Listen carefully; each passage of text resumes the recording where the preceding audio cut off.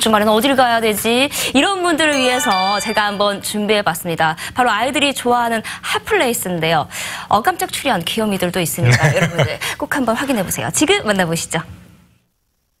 아, 너무 좋다. 이 가을 날씨. 이 따사로운 햇살, 시원한 공기. 아우. 아, 누구야? 여보세요? 왜? 나 지금 산책 중이지. 어, 약속 없는데? 뭐야?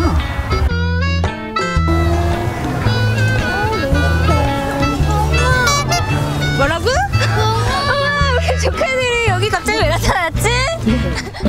고모랑 잘 놀라고? 오빠! 어디 가는 거야?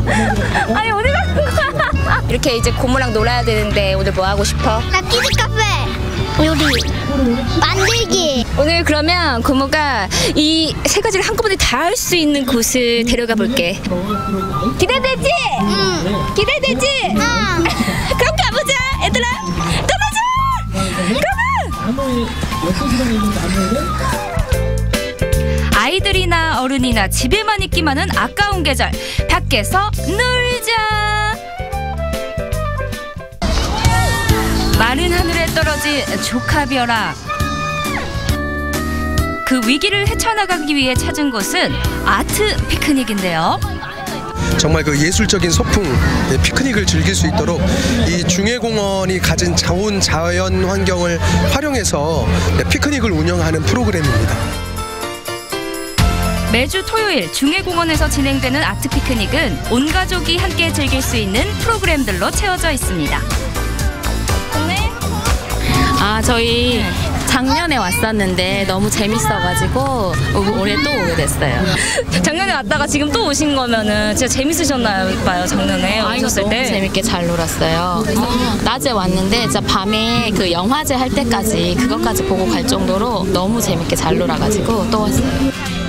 재방문에 재재방문까지 매주 대박 행진 중인 아트 피크닉. 그럼 이제 본격적으로 즐겨볼까요? 얘들아, 잘 타고 와. 잘 타고 올 수 있지? 기부를 하거나 스탬프 투어 미션을 완료하면 탑승이 가능한 깡통 열차. 사실 어른인 제가 보기에는 좀 시시해 보였지만 아이들이 어찌나 좋아하는지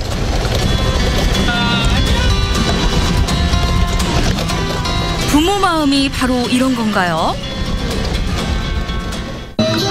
2016년에 시작해 4년째를 맞이한 아트 피크닉은 3월부터 10월까지 진행되는데요. 워크숍과 체험, 시즌 프로그램 중 원하는 프로그램을 선택해 즐길 수 있습니다. 어, 우리 친구 지금 뭐 만들고 있는 거예요? 스피너 주말에 이렇게 나와서 부모님이랑 나와서 동생들이랑 나오니까 좋아요? 네 뭐가 제일 좋아요? 아, 노니까 즐거워요 노는 게 제일 좋은 나이. 요맘때 아이들을 키우는 부모님들에게 아트 피크닉은 가크닉이래요. 돈 안 들이고 어, 여러 가지 체험할 수 있고 시간도 금방 가요. 네. 어, 그리고 멀리 가지 않아도 되니까. 네네네. 도심 속에 안에 있으니까. 네네. 반갑습니다. 놀이에 지칠 때쯤 체험 프로그램 하나. 네, 이건 어떤 체험이에요? 아 여기는 악기 체험이라고 해서요 젬베를 체험하는 곳입니다. 그 리듬에 대해서 다양한 소리를 들을 수 있고 또 리듬에 맞춰 가지고 내가 이제 손 동작을 하면서 이제 오감 발달에 도움을 줄 수 있거든요. 어? 평소에 쉽게 접할 수 없는 악기를 연주해 보는 즐거움. 이 리듬에 몸을 맡겨봐요. 어, 아이들과 엄마랑 같이 체험할 수 있어서 같이 너무 좋았어요. 우리 친구 엄마가 젬베 잘 쳤어요. 친구가 더 잘 쳤어요. 엄마 아, 엄마가 잘 쳤어. 놀다 와 얘들아. 자, 놀이터 갈 사람. 달려. 주로 유아, 초등부 중심으로 꾸며져 있는 놀이공간. 아이들이 정신없이 노는 동안 엄마 아빠들은 어떻게 시간을 보낼까요? 너무 좋지 않아요? 아이들은 체험하고 부모님은 이렇게 여유롭게 네일을 받으시 평소에 네일 받으세요? 아니요. 받을 시간도 없으시죠? 네. 어, 공연도 보고 체험도 하니까 즐겁습니다. 아이들이 좋아하던가요? 네네. 엄청 좋아해요. 아이들은 물론이고 엄마 아빠들의 취향까지 저격한 아트 피크닉. 초밥.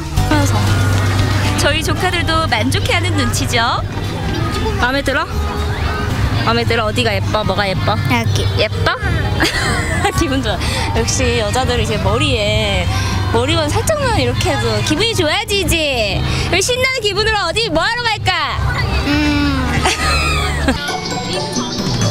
너희 요리하고 싶다고 했잖니? 그래서 고모가 또 요리 교실을 신청해뒀죠. 어, 이거는 어떤 프로그램이에요? 네, 오늘 친구들과 생크림 케이크 만들기 하고 있습니다. 음, 근데 아이들이 만들 수 있을까요, 이거를? 네, 저희가 케이크는 만들어 와가지고 케이크 위에 생크림을 올리고 그 위에 과일이랑 어, 초콜릿이랑 사탕 이렇게 토핑을 해서 케이크 촛불까지 꽂아가지고 저희가 어, 예쁘게 포장해 싸드립니다. 그래서 아이들이 충분히 할 수 있습니다.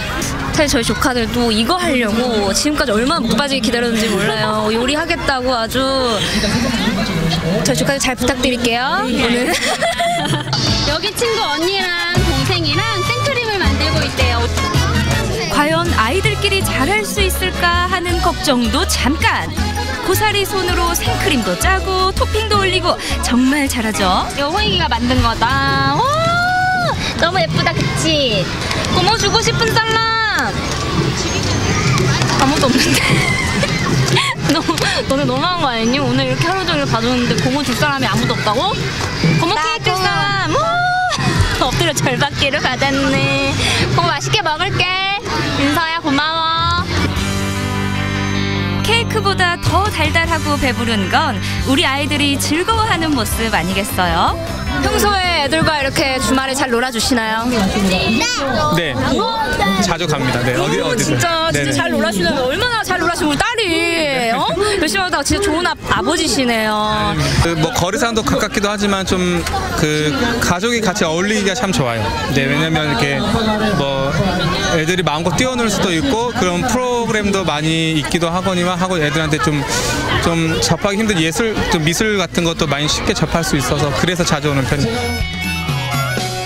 놀면서 즐기는 예술 우리 가족의 상상 놀이터 아트 피크닉 정말 잘 놀다 갑니다. 여러분 여러분 기억은 사라지지만 추억은 영원히 남습니다. 우리 광주 대표의 문화예술 컨텐츠로 자리 잡은 아트 피크닉 아, 정말 많은 돈 들이지 않고 멀리 가지 않아도 이 도심에서 즐길 수 있는 이 매력적인 프로그램 여러분들 놓치실 건가요? 아니요 해야지. 아니야. 고모 다음 주에 또 와. 다음 주에? 다음 주에 또 올까? 우리도 다음 주에 만나요.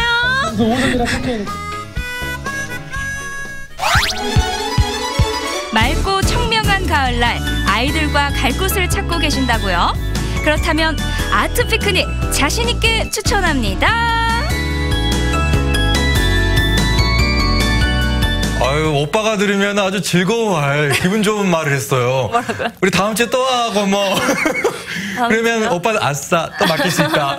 아니야 이번 주는 엄마 아빠랑 다녀오는 아. 것도 그, 그만한 시간을 가는 가족끼리 이렇게 혹시 이렇게 얼마나 좋아요. 그래. 네. 힘들긴 힘들었나 보군요. 네, 너무요. 네.